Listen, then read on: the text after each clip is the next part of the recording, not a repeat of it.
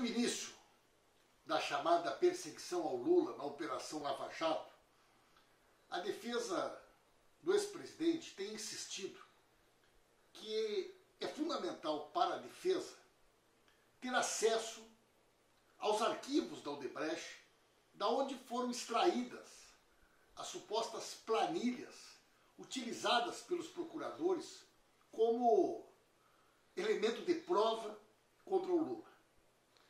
Há uma forte suspeita de que estas planilhas, que fazem parte de sistemas que eram hospedados fora do Brasil, o Dreyfus e o Maya Day, tenham sido manipuladas.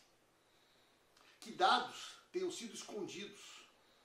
E que o Ministério Público Federal, em comum acordo com os delatores da Odebrecht, tenha pinçado informações, escolhido quem perseguir proteger. Recentemente, a segunda turma do Supremo Tribunal Federal tomou uma decisão muito importante, que é algo, me parece até primário, que a defesa do Lula tem direito a acessar os documentos da onde as planilhas foram extraídas.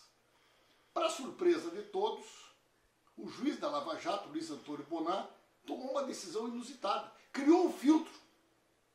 Estabeleceu uma condição diferente daquela que o STF decidiu.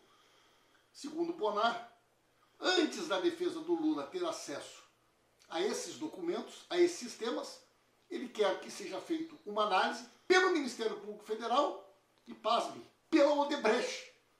Uma espécie de filtro para que sejam escolhidos quais são os dados que a defesa deve acessar e quais são aqueles dados que a Lava Jato não quer que a defesa tenha acesso. Isso é uma vergonha. Isso contraria a decisão do Supremo Tribunal Federal.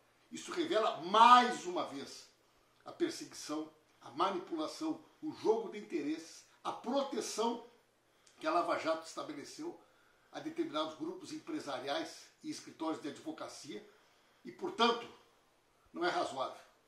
A Lava Jato tem que cumprir a decisão do Supremo Tribunal Federal. E a defesa do presidente Lula tem que ter acesso àquilo que é uma cláusula pétrea da Constituição Federal. O amplo direito de defesa, o acesso às provas. É uma vergonha que, mais uma vez, Lula tenha que recorrer ao Supremo Tribunal Federal para ter direito a ter acesso às provas que foram utilizadas para a perseguição odiosa movida pela Lava Jato e pelo juiz Sérgio Moro contra ele.